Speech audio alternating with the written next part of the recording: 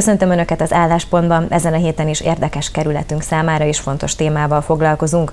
A Nemzeti Tehetség Központ ösztöndíj támogatásban részesített a közép-magyarországi régióban tanuló 45 kiemelten tehetséges diákot a minősített tehetséggondozó műhelyek hálózatának támogatása és fejlesztése című projektjének a keretében. Eközött a 45 kiemelten tehetséges diák között pedig ott van a 17. kerületben működő Balassi Bálint 8 év folyamos gimnázium 6 tehetséges diákja is. Ezért dr. Lantos Krisztinával, a Nemzeti Tehetségközpont ügyvezetőjével, illetve az intézmény vezetőjével, Farkas Györgyel beszélgetek. Köszönöm, hogy elfogadták a meghívásunkat. Én is köszönöm a meghívást. Köszönöm én is a meghívást, üdvözlöm a nézőket. Úgy tudom, hogy a közép-magyarországi régióban 8 minősített tehetséggondozó műhelyként működő intézmény van, és ugyebár ebben a 8 intézményben 45 diákot jelöltek ki arra, hogy részesüljön ebben az ösztöndíjban, és ugyebár a 17. kerületi balásis diákok közül hatan is benne vannak ebben a 45 diákban, de pontosan mit jelent, milyen jellegű segítséget kapnak ezek a diákok az ösztöndíj keretében? Ez egy nagyon fontos kezdeményezés volt, először tettünk ilyen kezdeményezést az idén, többek között a járványügyi helyzetre is tekintettel, mert azt gondoltuk, hogy nem állhat le a tehetséggondozás, nem szenvedhetnek hátrányt ezek a, ezek a fiatalok, akik tényleg tulajdonképpen mindent megtesznek azért, hogy kibontakoztathassák a tehetségüket ezért a kollégáim és a, egyébként az iskolák a minősített tehetségműhelyek kezdeményezésére e, kitaláltuk azt, összeállítottunk egy olyan programot, hogy azok, akik versenyutakra szeretnének pályázni, eszközvásárlásra szeretnének pályázni, olyan kiegészítő eszközökre, amit a munkájuk során felhasználnának, ilyen dolgokra szeretnének pályázni, azok megpályázhatják ezt az ösztöndíjat. Egy-egy tehetség műhelyből hat diákot tudtunk támogatni, összesen majdnem 5 millió forintot tudtunk kiosztani megosztani. Fontos volt nagyon, hogy ezek a fiatalok rendelkezzenek egy olyan támogató, tehetséggondozó szakemberrel, aki az adott tehetségminősítő műhelyben tanul, eh, rendelkezzenek az ő ajánlásukkal, tulajdonképpen ők a mentoraik voltak, rendelkezzenek olyan vizsgaeredményekkel, nemzetközi vagy hazai versenyeredményekkel, amik igazolják azt, hogy a saját tehetség területeken ők tényleg kiválóak. És amikor ezeket a, a dokumentumokat, ajánlásokat benyújtották, akkor a kollégáim véleményezték ezeket, és megállapították, hogy kik azok a diákok, akik 50-től 200 ezer forintos e, támogatásban tudtak részesülni, és nagyon nagy öröm, hogy a Balassiból mind a hatan 100 ezer forintos e, támogatást nyertek el.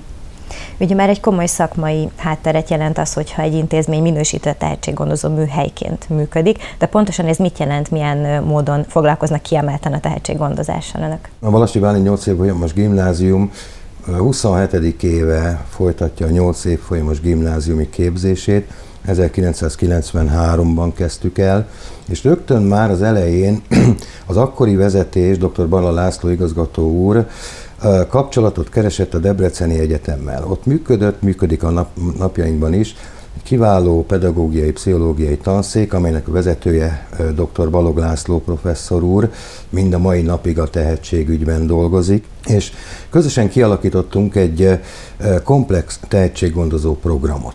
Gyakorlatilag a gimnáziumunk pedagógiai programja az egy az egyben megfelel ennek a komplex tehetséggondozó programnak. Időhiány most nem tudom elmondani ennek minden egyes részletét, de ebben benne foglaltatik az is, hogy a tehetséges, motivált gyerekekkel nem csak osztályszinten vagy csoport, tanuló csoport szinten foglalkozunk, hanem külön szakköröket kínálunk számukra, illetve a szakkörök mellett pedig úgynevezett mentori foglalkozásokat. A tehetség szakirodalomban a mentorság meg a tutorság egy ismert fogalompár. Mi ezt már 20 éve műveljük, talán azzal a különbséggel, hogy a balasis diákok mentorai jellemzően a saját tanárai köréből kerülnek ki. Föl lehetne tenni a kérdést, hogy akkor mi a különbség a tanár és a mentor között. Pusztán annyi, hogy ezek a kollégák ezek a, a versenyző diákokat nem csak fölkészítik a versenyekre, nem csak tanítják őket a plusz tananyagra, hanem menedzselik is őket.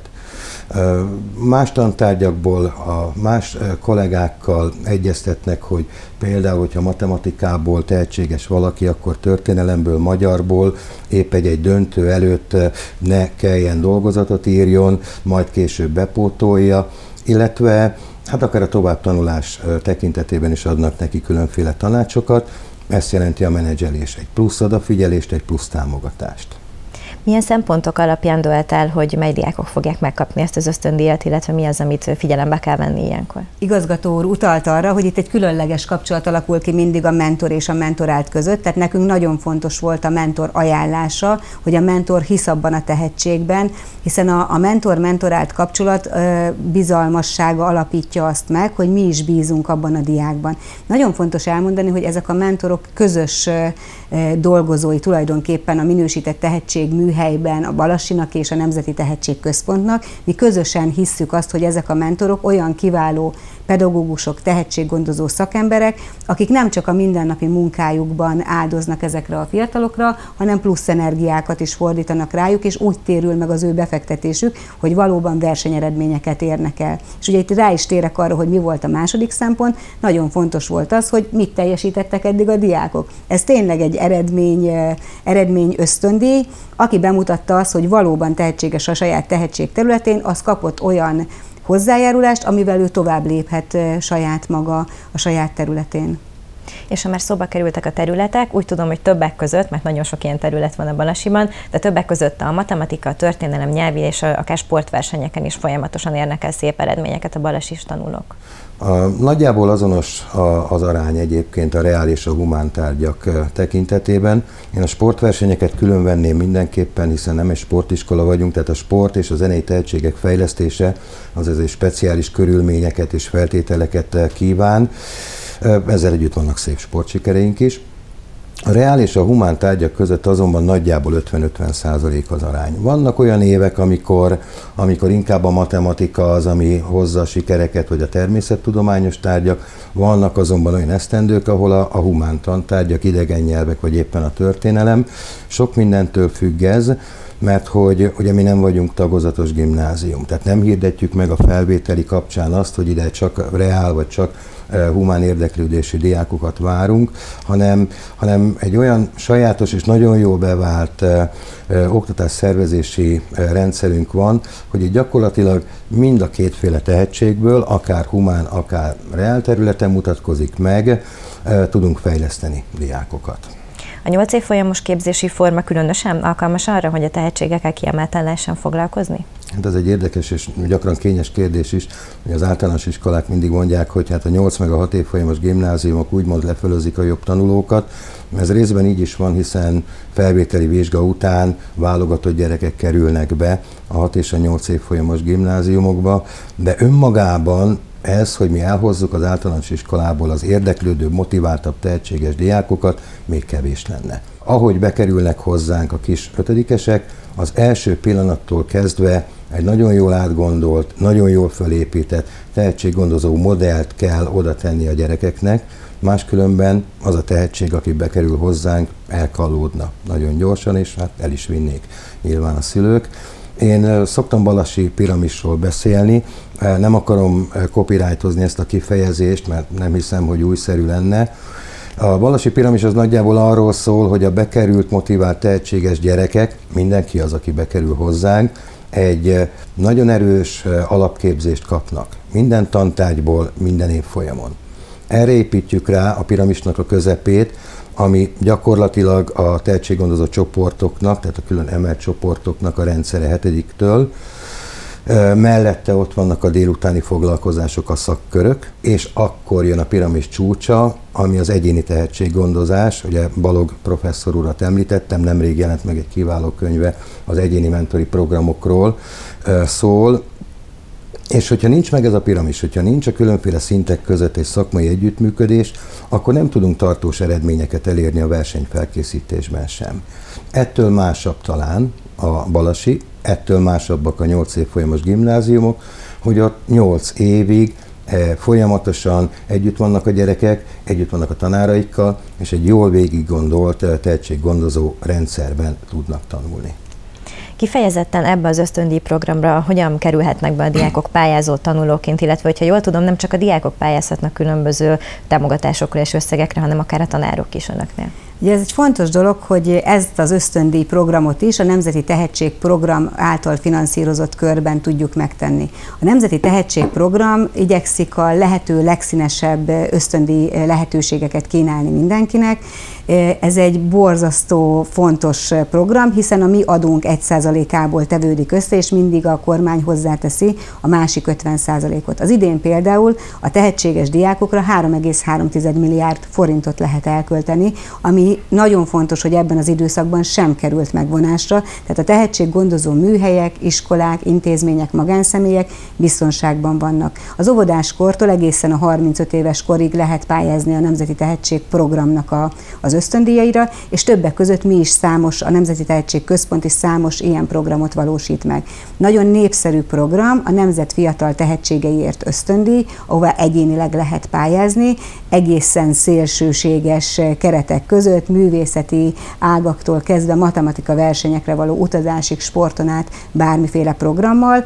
Ott egyénileg pályázhatnak a, a fiatalok, akár külföldi egyetemre. Tudok olyan példát mondani, Például a Schneidberger Központ az egyik nagyon fontos eleme a, a Nemzeti Tehetségprogramnak. Ott van olyan diákunk, aki a Hágai Királyi Akadémiára jutott be operaénekes szakon, és többek között a Nemzeti Tehetségprogram egyik ösztöndiából tudja részben fedezni a tanulmányait. Tehát nagyon fontos az, hogy ne csak a, az általános iskolában, középiskolában, hanem a felsőoktatási intézményekben is tudjuk támogatni ezeket a kiemelkedő tehetségeket. Ugye igazgató úr mondta, hogy mennyire fontos a tehetségekkel való bánás, az odafigyelés. Tehát, hogy a mentoroknál Szintén nagyon fontos, hogy elismerjük a mentoroknak a programját. A Nemzeti Tehetség Programból valósítjuk meg például a Bóniszbóna programot, ahol a legodaadóbb, leg önfeláldozó pedagógusokat, tehetséggondozó szakembereket, tehetséggondozó szervezeteket tudjuk díjazni, és van egy tehetségbarát önkormányzat díjunk is,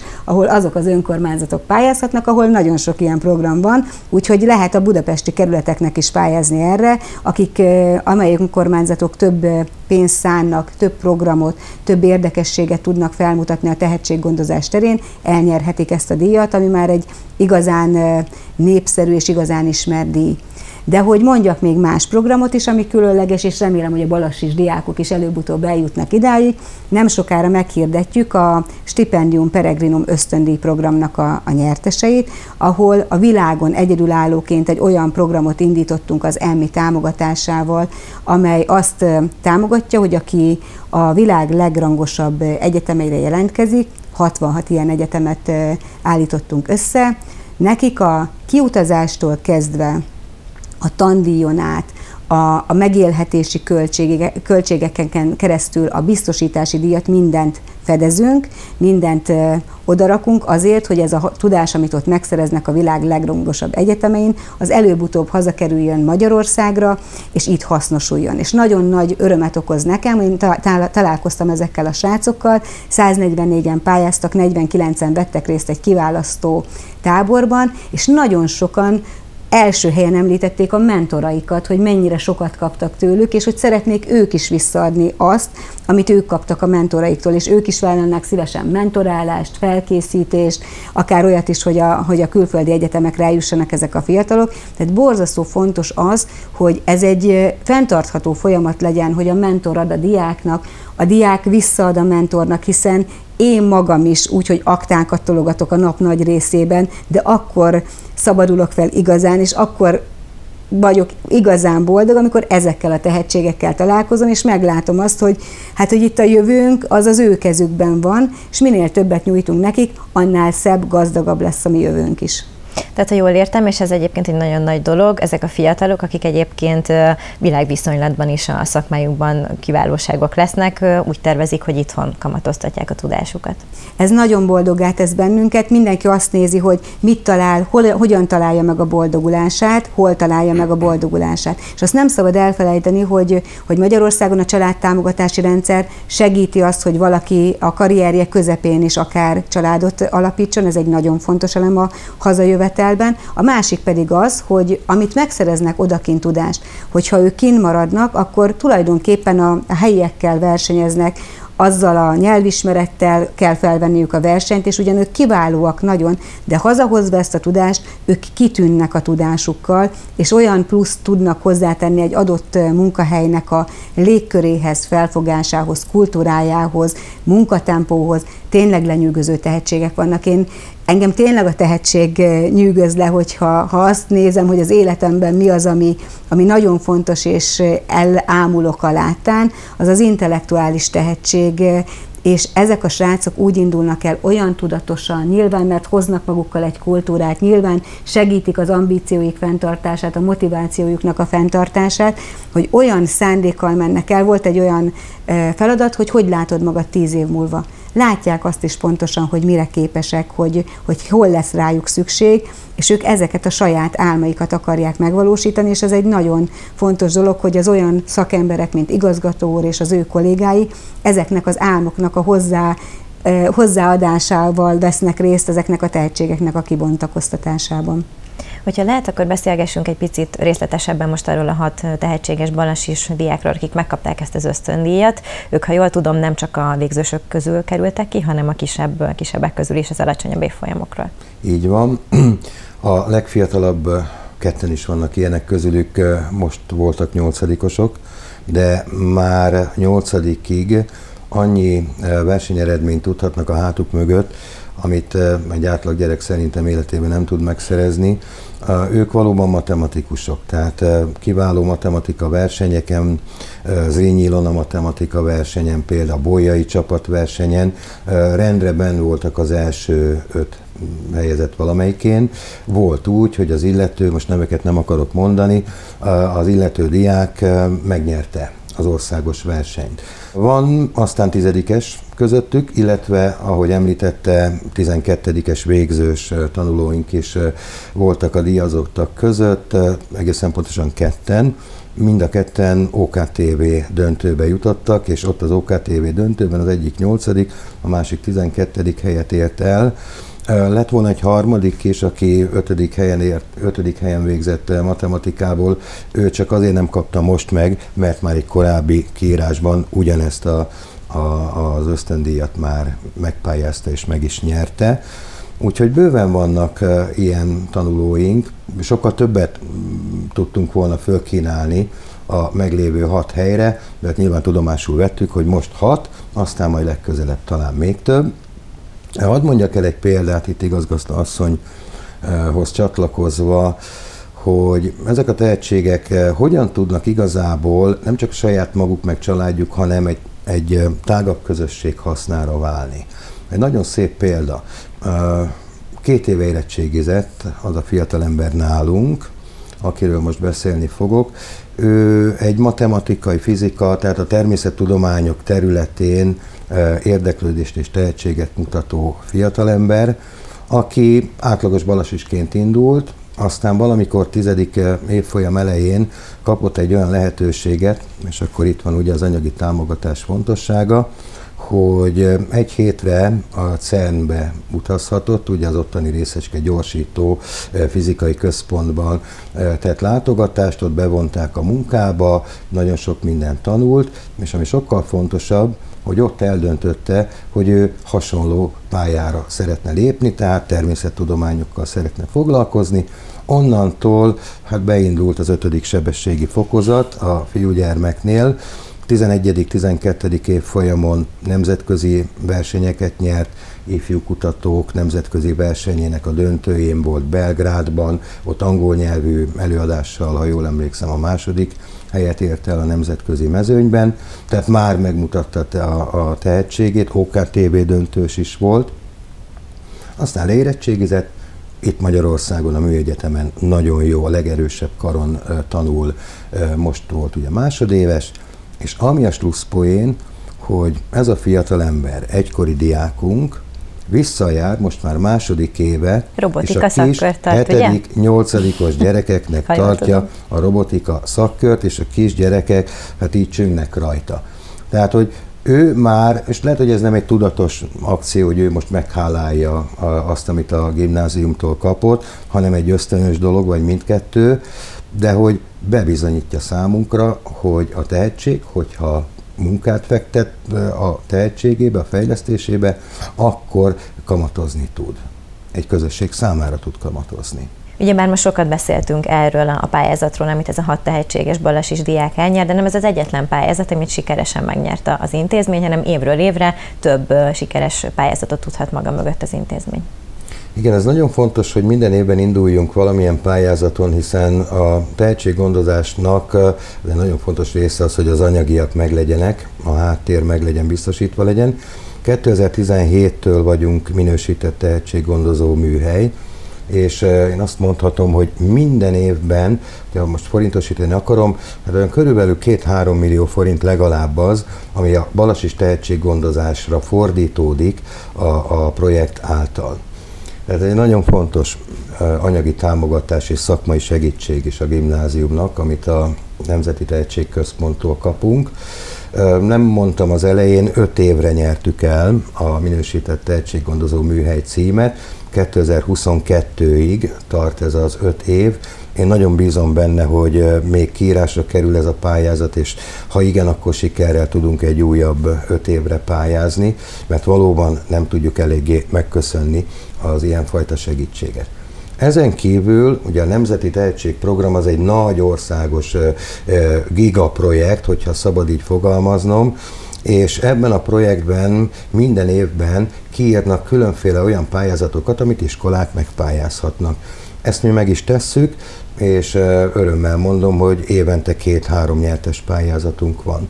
Ezek nagyjából egy-másfél millió forintos összeget jelentenek, és hogyha összerakjuk ezeket a mozaikokat, én már beszéltem ugye Balasi piramisról, akkor a végén beszéljek egy Balasi mozaikról, csak így tudjuk a, a tehetséggondozásnak az anyagi feltételét biztosítani, hogyha az állami apanás fölött a pályázati lehetőségeket kihasználva különféle forrásokat tudunk biztosítani a projektjeinknek. Ezek nagyon jó programok, a robotikától kezdve a művészeti tehetséggondozásig tartalmas, több tucat gyereket tudunk bevonni minden évben, de hogyha nem lenne pályázat, akkor erre nem lenne pénz és lehetőség. Úgyhogy nagy köszönet a támogatásért. Nagyon szívesen.